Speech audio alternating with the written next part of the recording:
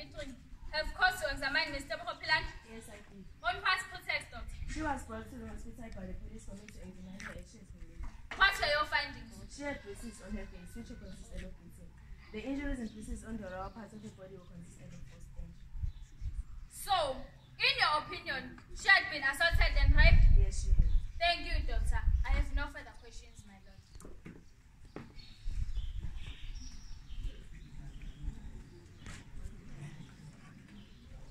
Doctor, you told my colleague, Mr. Warner, that you were asked by the police to examine Mr. Bokopilan. Is that true? Yes, And then they told you that she had been raped. yes. Wouldn't you say that they prejudiced your examination? No, I wouldn't say that. But is it not possible that they influenced your conclusion since you know what had happened? No, I did my own examination and reached my conclusion based on that examination. But is it possible that they might have inadvertently put conclusion into your mind? I guess it is possible, although I don't think this happened in this case. Doctor, what is your opinion? Objection! Doctor's opinion not relevant. Sustained. I hate rape. It causes physical and psychological causes of. So it's quite possible that when you heard that Miss Pilan had been raped, you became prejudiced against the alleged rapist. I guess so. I have no further questions. The witness is excused. Mr. Warner, any more? None for the moment, my lord. The defense called Ms. Kebonye Monang.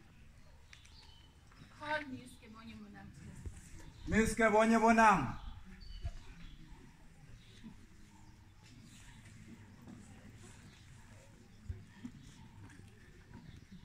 Monang, for how long have you known, have you known Mr. Bokopilan? For five years. In what capacity? As a friend. A close friend? Yes. A friend with who you share intimate secrets? Yes. Could you tell the court one incident when Miss Pilan expressed the secrets to you? On one occasion, she told me that her greatest wish was to marry Mr. Timeha Machaba. And that she would do anything for him to marry her. What else did she tell you? That if he rejected her, she will find a way of framing him and even accuse him of raping her. What was your reaction? I was shocked and appalled. What did you do? I told her that such action was morally wrong and what's more is illegal. Thank you, Miss Monang. I have no further questions. Miss Monang, you told the court that Mr. Bokopilan is your friend, didn't you? Yes, I did. Even now, Yes. do you recall that day when you and Miss Pilan had a terrible argument? No, I don't.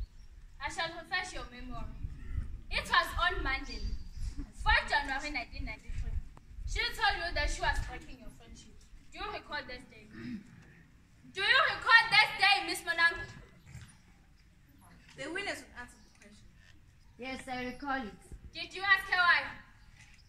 Well, I shall tell you. She told you she confessed that you were a liar. That you had spread malicious rumors casting doubts on her personal integrity. That you had said that she once appeared in court and been convicted for shoplifting. Is this true, Miss Monang? Yes, it's true. And is it not also true that you threatened Miss Pilane following the breakup of your friendship? Answer the question. Did you threaten Miss Pilane? Young lady, answer the question. Yes, I threatened her. The statement you made to the court about Miss Pilane's wish to marry Mr. Machaba, is it true? No, it's not true. I shall repeat the question. Is your statement true? Answer the question. No, it's not true. You mean that you lied? that you lied to the court? Yes, I did. Why? Why did you lie, Miss Monang? To punish her for telling people against me. Is that all? No, I was paid Silence. by Mr. Hey! Why, who, Miss Monang? by Mr. Machaba. The father of Jimeha Machaba, the accused. Yes. You, you, you are a stupid girl, stupid girl. Who brought you to tell lies about me? And who is this man interrupting my court? He is Mr. Paul Machaba, the father of the accused man. Sit down, Mr. Machaba, right now. My lord, that stupid girl is lying about me. I told you to sit down at once. Didn't you hear me? Go back to your seat. I ordered you to resume to your seats. I mean, right now. This minute. Earlier, during Ms. Quinones' testimony, Mrs. Machaba interrupted the process of this court. Mr. Machaba, evidently not wishing to be left behind, has also interrupted the process of this court.